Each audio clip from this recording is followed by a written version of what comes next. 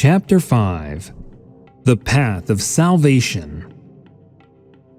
Arriving at the next session, people found themselves on the street as they were denied entry to the large theater due to the dark powers conspiring against Bhagavan. It was too dangerous for them, given what Bhagavan was doing. However, one devoted disciple suggested using a cinema where he had connections. People went there to hear the voice of truth. Since the Dark Powers were unaware of the new location, another preaching was successfully held. Yet they followed Bhagavan closely, attempting to hinder his mission in every possible way. Once again, the crowd gathered in the hall, and the Master, before delivering his message, turned to God. O Lord, help, enlighten, guide, so that I may convey the truth to the hearts of your children. Bhagavan's lips whispered backstage. And like a waterfall of grace and power, the divine responded, inspiring him for the sacred task. He walked out to the people, and once again, a collective prayer resounded, and having concluded it, he spoke. Let us worship the divine power that bestows grace and wisdom upon us, he said, bowing in heartfelt reverence to the audience. May the truth be revealed, uttered the sage, and the people took their seats, attentive to the voice of the messenger of the circle of Kailash priests. And the sage declared the great truth. He said, Presently, all of you live in a disastrous, unhappy state. And this is because the ruling classes have severed your connection with the higher.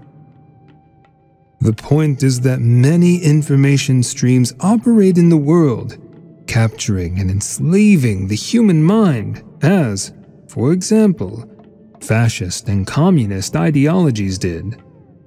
These low streams come to you through the means of mass delusion, television, radio, press. Tune your mind to the crudest and most primitive ideas, vibrations that incite people to aggression, sex, violence, meaningless work, building communism or fascism because it does not need it at all.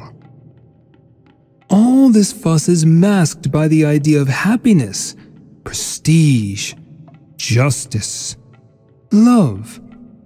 But in the end, people are simply exploited, making them go to war for a noble cause, or work to the bone, or give away all their resources, time, energy in pursuit of fashion, prestige, some things, and other imposed interests. In fact, all that a person needs is to achieve a special inner state, which can be called harmony, where he is filled with peace, happiness, bliss, in which everything around him becomes clear and understandable. This state is internal, and to achieve it, a person can tune into a special stream of energy of knowledge, grace, which comes to us from our soul, the universe, from God. The practice of such tuning is Ishvara Pranidhana, that is, opening oneself to the flow of divine energy coming from God. The whole universe is his physical body, and he is his soul, which is in everything. True prayer to God is not words or mantras. It is grace, love, selflessness, overflowing hearts. Words, mantras, icons, music, rosaries. All these are just means of tuning into this stream, into this state. And one should learn to enter it, be in God because that is what brings happiness. So pray, perform Ishvara Pranidhana to the state of grace every day, and you will find God within yourself and become godly beings from semi humans, semi animals. And it doesn't matter which God you pray to, as these are just names and images of the same Ishvara. Whether it is Buddha, Christ, Krishna, Ahura Mazda, or Allah. Practice dhyana, merging with God, with His prana, energy, grace.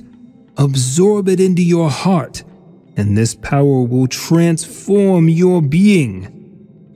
You will be transformed. Your mind, feelings, body will change. Diseases, sufferings, ignorance will disappear. You will no longer be able to torment and suffer as before. Pray to God in nature, in solitude, dancing. Find a form that will help you better tune into His flow. I am here in the city, organizing a meditation center where all seekers, all radiant souls, can practice this path of happiness and joy. Om.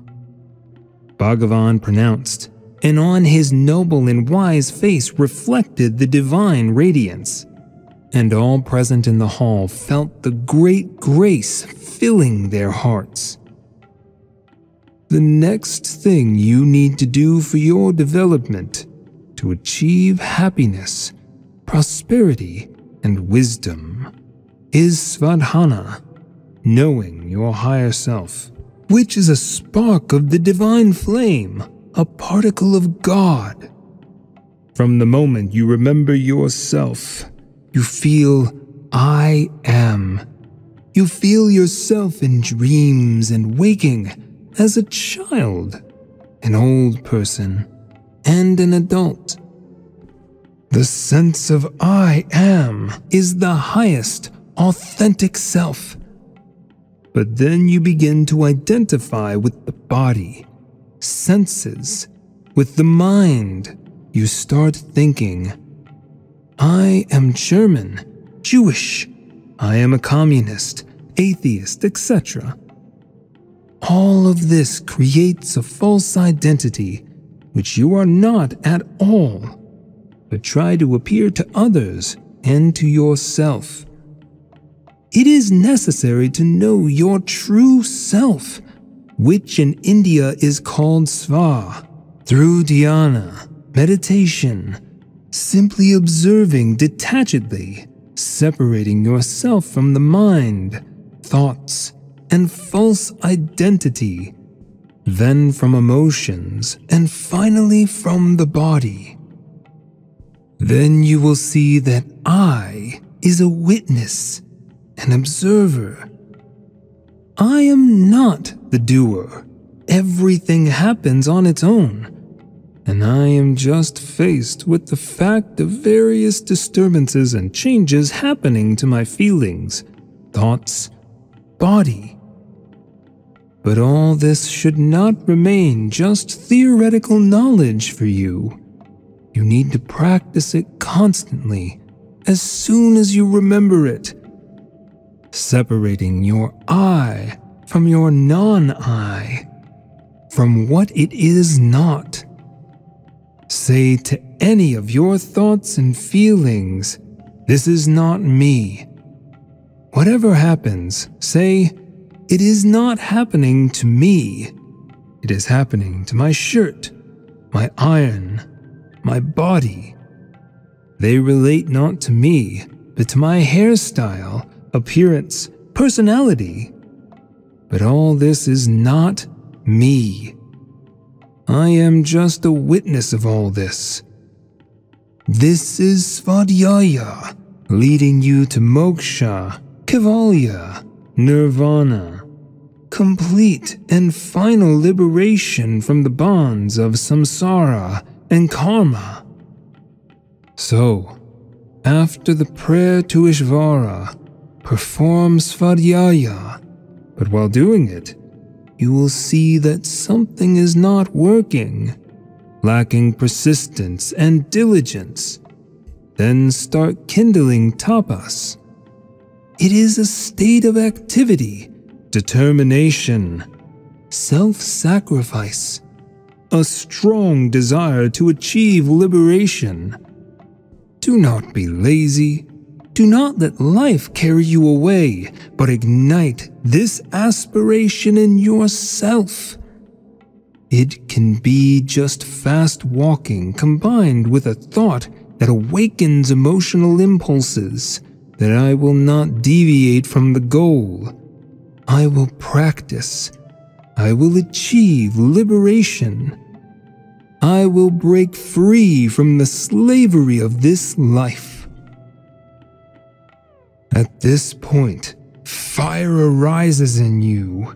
It appears in the chest, in the lower abdomen, your eyes burn. Direct this seal upwards so that you can feel that you have become higher, more spiritual, more refined. Only such tapas can help you not to stop, not to cease practice.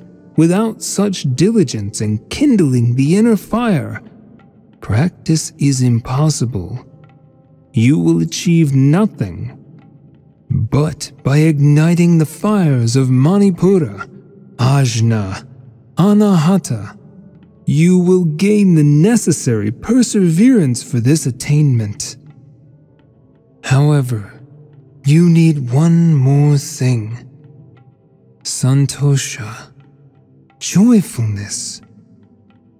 Since your emotions will seek joy, satisfaction, and they will look for all this outside in people's love, in buying a car, in praise, in a partner and all this will nullify your determination to achieve truth.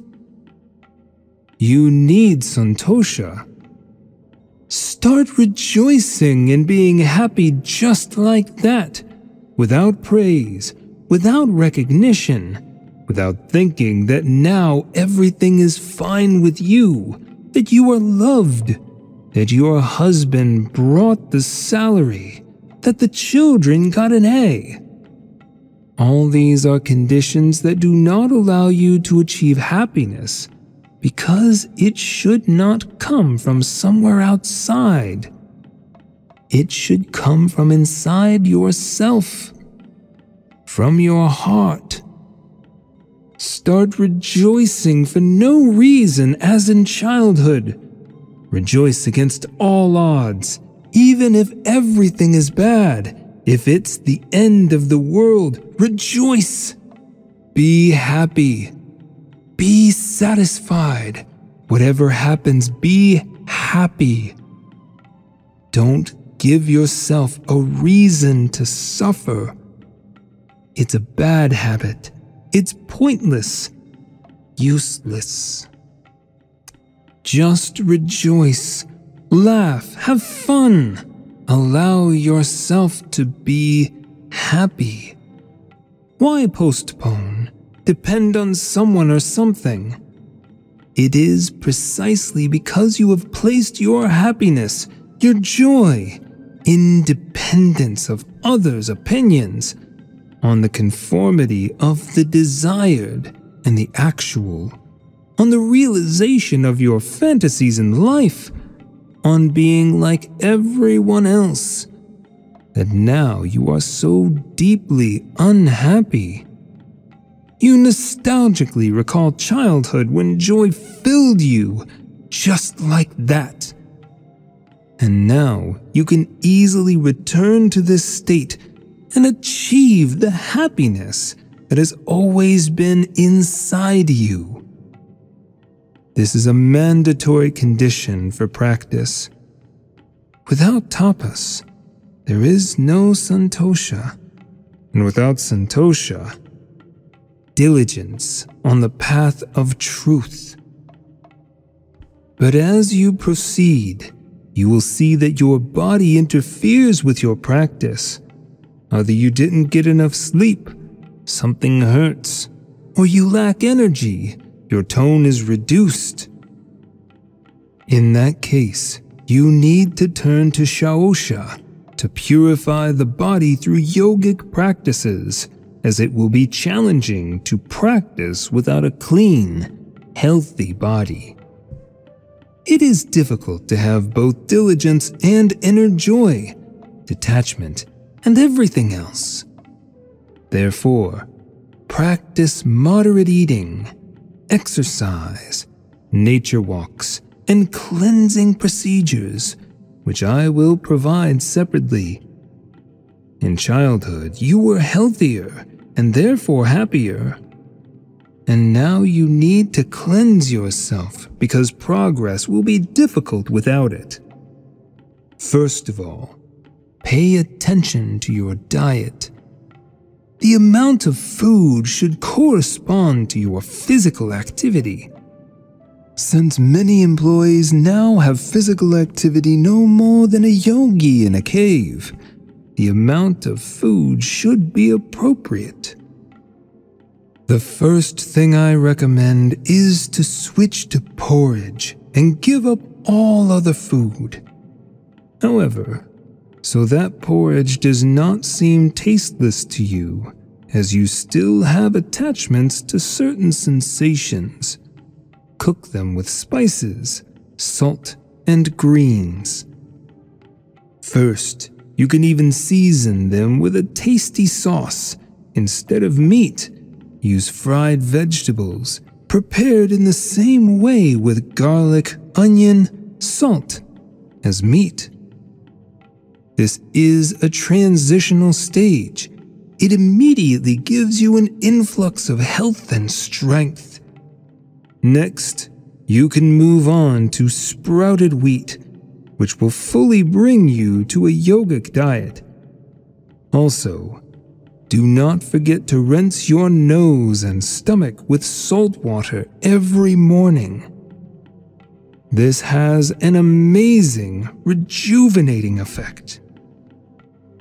Bhagavan explained the rules of Shaucha for a long time, but we will not provide them in full as they are already well known from other yogic literature.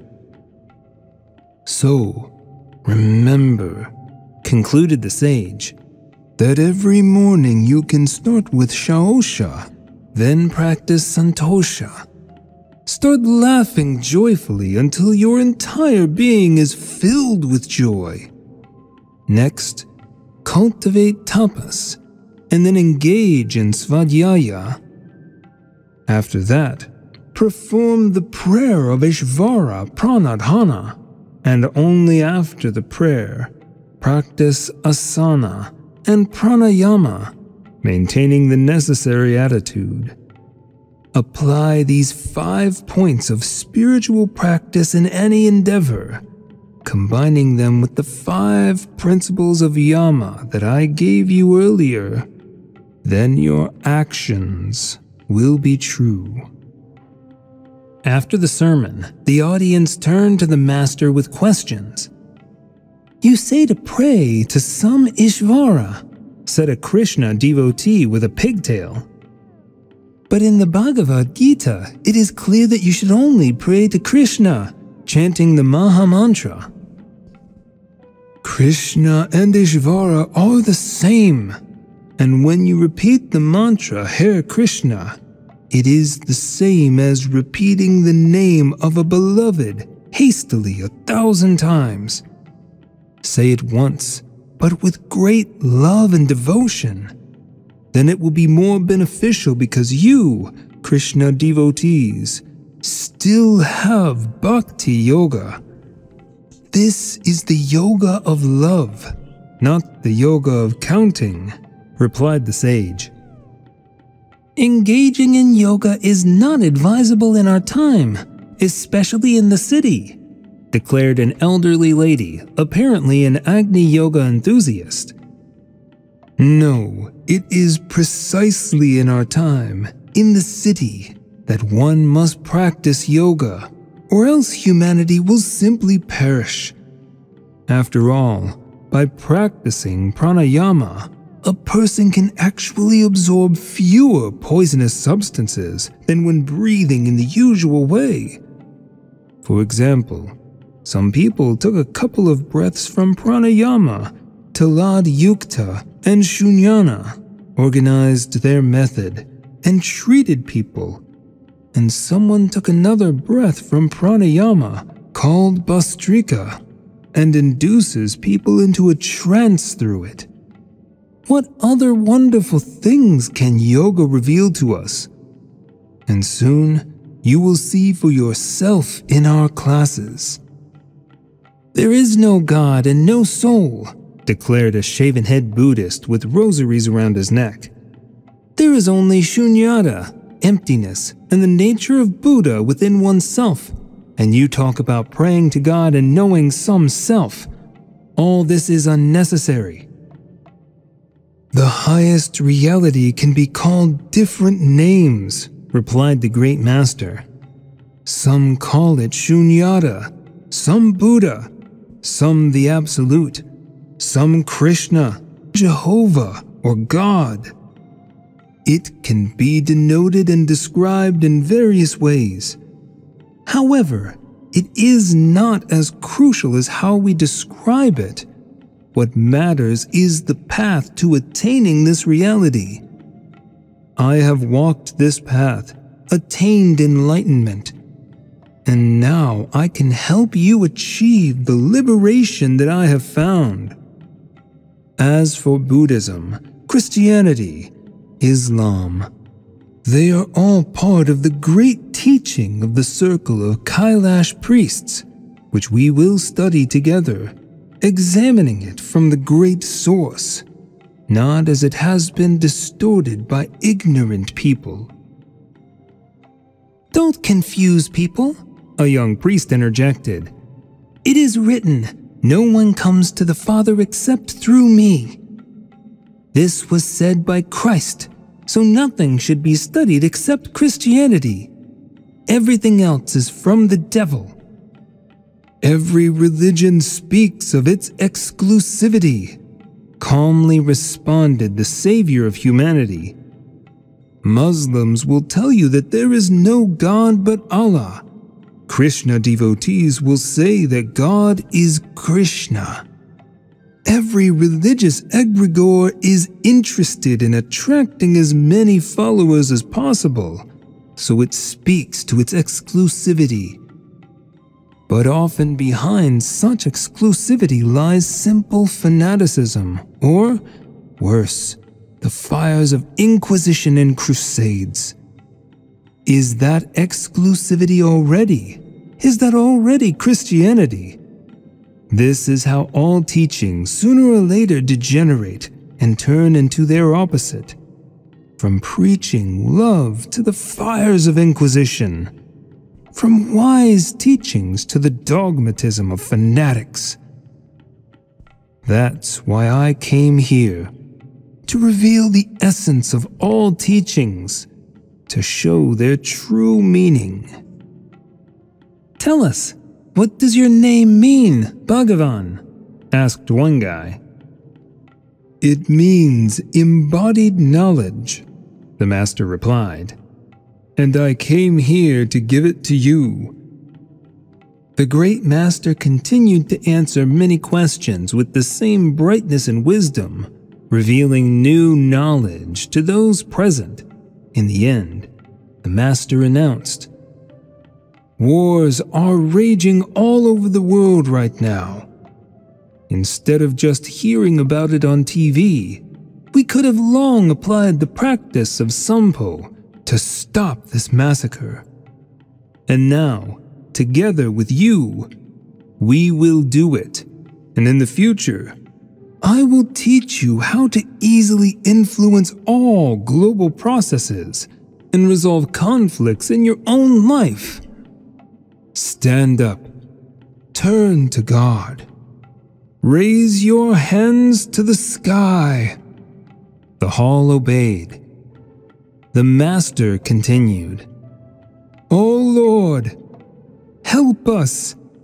Give us your strength so that we can help our brothers suffering in war. A great wave of cosmic power entered the bodies of those present with these words. Now, mentally visualize the place where the war is happening and direct this divine energy there with great power and the desire for this war to cease. People with great selflessness and determination began to send rays of energy from their chakras, setting intentions to stop the war and establish peace and tranquility. After a few minutes, the Master continued. And now, again with love and devotion, open yourself to God and replenish the energy spent with divine power then enter a state of detachment, and through it, return to the normal state. Soon after that, news spread about the cessation of war in the place where divine energy was directed. The wise sage resolved many more wars and conflicts with his disciples and, using clairvoyance, prevented those that were only forming in the minds of those obsessed with malice and a thirst for power. After the preaching, the sage announced the opening of a meditation center where all interested individuals could delve into the in depth practical study of the great legacy of the circle of Kailash priests. Afterward, a balding middle aged man dressed in a strict black suit approached him. I am an academic from a research institute. He introduced himself. Would you like to have a conversation? Perhaps visit our institute? We are, so to speak, colleagues. He smirked, sitting in a black car with a couple of people in black sunglasses, evidently from special services. They arrived at a small town of scientists and entered the research institute into its forbidden part, located in the basement. Tell me, why do you open people's eyes? The academic spoke. Let them remain in their ignorance. The country needs slaves, as you understand. They are too smart, and why make them intelligent? Let them work for you too. We have been monitoring you for a long time and know your capabilities. We could make you, so to speak, an academic you would work for the good of the country in our institute. We would allocate a cottage for you. I know you live in an old summer house, not suitable for a person of your caliber. Look at the equipment we have here. The academic led Bhagavan to a laboratory with a working television showing the city channel. This is our secret weapon of zombification. Do you see the psychotronic emitter? It is connected to television, and through the screens, we irradiate all fellow citizens, so to speak, implanting the necessary codes into them. But no one even suspects this, and they start doing what the government needs. And what do you do? You connect people to God. Why? They will become free, you know. And who benefits from that? No, it's better for them to watch television. Do you watch television yourself? Me? The academic was astonished. Of course not. I don't watch television. So you don't want to become a slave yourself. But why do you zombify others? The master asked sternly. Well, you know, it's our job. We do it now, so to speak, instead of pastors, instead of priests in the church. Previously, they were brainwashing people, but now they can't do it anymore. Nobody goes to church. So the government entrusted us with the opium for the people. People need a reign. Earlier, they kept slaves in chains, and now the chains have become subtle, informational. They are in people's minds, and we forge them. And what about you? Will you help us forge, so to speak, a bright future? The academic said, looking questioningly at Bhagavan's majestic and wise face. No, replied the master. I serve God, and you serve the devil. I came here to free people precisely from your zombification. For this, I was born on this earth in this terrible place, to save humanity from your chains, not to sit in cottages and ride in government limousines. I can sit in a cave. It's even better for me. Well, just watch out, said the academic, as you might regret it later. We can write about you in the newspapers, smear you, so to speak, with mud. We can do that in one go.